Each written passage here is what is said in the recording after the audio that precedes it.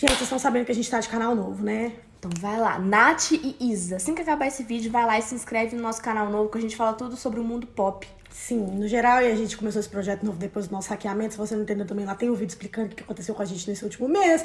Mas agora vamos falar de coisa boa, vamos falar de Tech Pix e volta do Natiza, né? Fala com a gente, que eu sou a Nath. E eu sou a Isa. O que, que a gente veio fazer aqui hoje? Hoje nós viemos dar cinco motivos pra vocês assistirem o dorama Itaewon Class. Sim, o mais novo hit da Netflix, o mais novo hit da Coreia, né? Porque, tipo assim, tá o maior campeão de audiência que tem por lá agora. Uhum. E agora a gente vai resenhar esse dorama maravilhoso pra vocês, que é protagonizado pelo meu UTT dos doramas, que é o Sr. Park Seo-joon, amor da minha vida. Maravilhoso. Gente, ele é tão amor da minha vida que eu quero agradecer todo mundo que, tipo, no meu Instagram, o pessoal fica me marcando em coisas dele. Não é muita gente. Direto, às vezes eu chego, tem lá um inscrito do canal me marcando em coisas em edits do Park Seo-joon. E pra isso eu quero te dizer obrigada, viu? O dorama conta a história de Park Seo-hee, jovem de família humilde, mas com muito senso de justiça, que ao se envolver contra inimigos muito poderosos, acaba indo preso injustamente. Após cumprir sua pena, ele volta pondo em ação um plano de destruir todas as pessoas que fizeram mal a ele e as pessoas que ele amava, abrindo um restaurante no famoso bairro de Seul, Itaewon. O dorama é muito legal e a gente vai dar os cinco motivos pra vocês conferirem ele agora, porque se você não tá vendo ainda, porque Vai você só. E, Gente, um do primeiro motivo é o enredo. O enredo é único. Sim. Porque é um enredo que agrada tanto jovens, por se tratar de pessoas jovens, mas também as pessoas mais velhas, porque tem um tema muito sério. O antagonista já é uma pessoa mais velha também. Então, tipo assim, permeia pelo todas as audiências possíveis. Sim, mesmo o antagonista sendo uma pessoa claramente ruim, ele tem um senso de justiça de proteger a família que eu acho que qualquer patriarca, qualquer matriarca pode se, tipo, relacionar com ele, sabe? Mesmo a forma que ele põe isso em ação é uma maneira torpe. Então eu acho que você consegue se ver enquanto jovem, idealista ali, tipo assim, na turma do Pax Herói, que é tipo a galera lá de Itaewon mais jovem, você pode também se ver naquele senso de proteção de familiar, sem contar, tipo, o drama familiar que tem, que permeia a série, é uma coisa totalmente inusitada. Todo dia você fica, tipo, sabe, no seus, na pontinha dos pés, assim, o que, que vai acontecer, o que, que vai acontecer. Então eu acho que o enredo, como a gente não consegue prever o que vai acontecer mesmo, a maioria dos doramas tendo partes assim que são tão fáceis de a gente decifrar, eu acho que isso mostra que, tipo assim, que a gente tá com um dorama muito especial nas nossas mãos, porque a gente realmente não sabe Não onde sabe a história vai vai. O segundo motivo é, tipo assim, a gente mostrar Itaewon pra vocês, né, gente? Porque uma coisa que é muito interessante é que, tipo, Itaewon é o bairro estrangeiro, por assim dizer, na Coreia. A gente sabe que a Coreia como um todo, como um país, é o país um dos países mais homogêneos do mundo. A população estrangeira lá ainda é muito pequena, por isso que você se sente, às vezes, até um pouco deslocado, porque você só vê oriental por onde você vai. Exatamente. A não ser se você estiver em Itaewon, porque Itaewon é um bairro onde tem muitos estrangeiros real.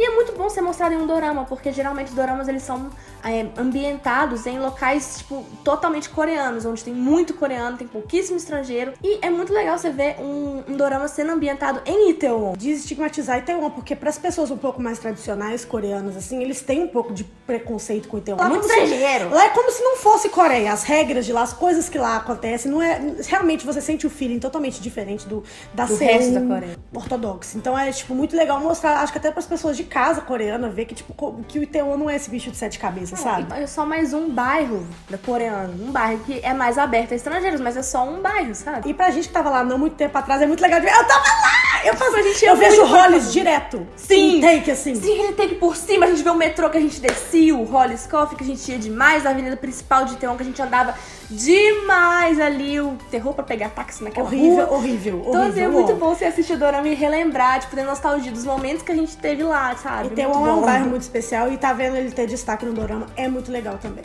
O terceiro motivo é a diversidade apresentada no dorama. Talvez seja o melhor motivo dessa lista até então, porque a gente sabe que a Coreia a meio, tipo assim, ainda é um país muito fechado. A Ásia como um todo, eles são países ainda muito, tipo, enraizados na cultura antiga. Eles têm esse lado bonito de, tipo assim, deles respeitarem as tradições. Então, é um esse movimento muito de desconstrução não né? chegou lá, né? Sim, é um país ainda muito, que tem muitos preconceitos. É um país que tem muito preconceito, principalmente com a comunidade LGBT. Então, assim, é muito legal porque nesse dorama temos uma personagem trans. Sim, outra coisa muito legal, assim, por eles serem um po- povo muito, assim, que não tem muito estrangeiro, eles têm, assim, um pouco ainda de resistência com pessoas de outras etnias. E nesse dorama também a gente tem o primeiro personagem que eu já vi na vida, que é negro. Sim. E ele é, tipo assim, filho de um coreano. E tem muito essa coisa do racismo. Porque lá eles não, tem, nunca vi nenhum dorama retratando racismo. Assim, sempre os doramas têm a ver com a sociedade coreana, entendeu? Então eles são uma, uma sociedade muito homogênea que não vai falar muito dessas coisas que não são muito próximas deles, né? E você vê a diferença de tratamento dos outros coreanos com ele, você percebe, tipo assim, ele é coreano, mas não importa. Não importa ele é- se ele é coreano, a pele dele é negra. Quem é você de verdade? Você é a cor da sua pele? Você é o lugar que você nasceu? Eu acho isso muito interessante, porque, na nossa opinião, na nossa cabeça como vira, é tão claro que ele é coreano, mas para as pessoas lá, por ele não ter a mesma aparência que todo mundo,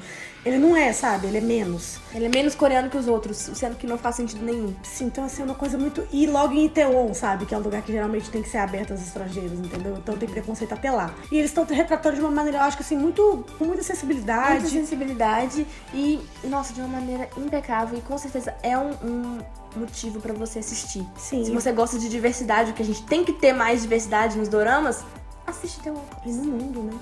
O quarto motivo é o jogo, é o embate vilão versus mocinho. O jeito como é construída a rivalidade entre os dois é muito, muito incrível. Porque você vê tudo, a raiz do problema, e você vê o problema crescendo, ficando maior e ficando maior, e a rivalidade, como um odeia o outro. Todas as ações de um contra o outro são assim. E é muito interessante porque como o dorama ele é muito bem escrito, você literalmente fica esperando, tipo assim, agora o Sarah vai fazer alguma coisa, mas você não sabe o que o antagonista vai fazer. E sempre eles são tão inteligentes que a gente não sabe o que, que vai acontecer. A gente fica Uhum. assim, a gente não sente que a gente pode comemorar as vitórias do protagonista, porque a gente sabe que a gente tá lidando com um antagonista que é muito inteligente. Então que ele tem uma cartada na manga que a gente não vai, pode prever e que a gente não vai poder comemorar. E depois a gente fica esperando a cartada dos protagonistas, que são os mocinhos da história. Então é muito interessante, não tem preto no branco. Todo mundo tem seu lado bom, todo mundo tem seu lado assim mais nebuloso, e todo mundo, os personagens são muito cinzas, assim. Então é muito interessante a gente ver essa dicotomia, sabe? Não, e por causa disso, como os dois personagens são muito inteligentes, você não sabe quem que vai ganhar a disputa. E isso se transcreve até pro triângulo amoroso que a gente tem na série, porque, tipo, geralmente, quando a gente trata de triângulo amoroso, em qualquer tipo de entretenimento, né, ocidental, oriental, a gente meio que sabe com quem que a pessoa vai ficar. A gente, sa- a gente sempre chipa uma pessoa mais com a outra, porque você sabe que os dois vão ficar juntos e que aquela terceira pessoa ali, ela tá ali Só pra cumprir tabela no triângulo. Exatamente, é só pra fazer o triângulo amoroso acontecer. E não que não tenha caso, times. não. Não. que não tenham times. Não Não, que a que não gente não chipe uma pessoa com ele mais que a outra. Mas Exato. eu, honestamente, não sei com que ele vai terminar. A não sei que você seja uma pessoa que tenha lido o Webtoon. Literalmente, eu vejo que a internet tá dividida e que a galera não sabe com quem ele vai Não terminar. sabe, a cada momento você fala, não, tá, tá bom, agora, a partir dessa interação, ele vai ficar com essa. Não, mas aí, mas pera, agora vai ficar com o outro. Você não sabe. Eu não faço a mínima ideia com quem ele vai ficar no final do dorama.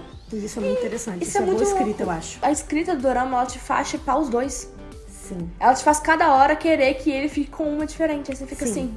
Que, eu eu acho que já vai mesmo? direto pra essa coisa da escrita que os personagens são muito cinzas, não é preto e branco. Não tem uma menina que é ruim, uma menina que é boa, outra agora. Sabe? É tudo muito.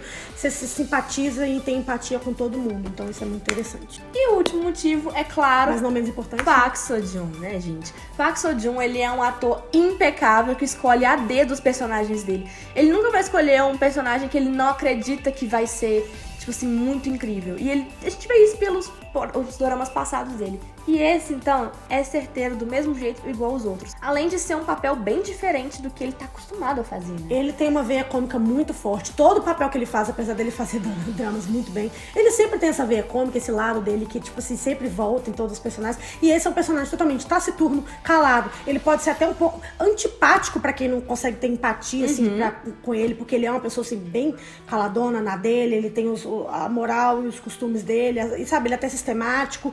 Então, assim. Ele totalmente se perde nesse personagem e você nem lembra dos trabalhos antigos do Park Seo-joon, mostrando de novo que ele é um dos melhores atores dessa geração. Ele é muito Ele é incrível. completíssimo. Ele faz da de comédia ao drama, a tudo. O interesse totalmente romântico, ele tem a fisicalidade pra ser um homem forte, ele tem beleza pra ser o bonitão, mas ele consegue se desconstruir, se enfeiar um pouco pra aquele personagem. É uma coisa assim, sabe? Eu não vejo outra pessoa pra fazer esse papel, não, Não, sei. eu também não.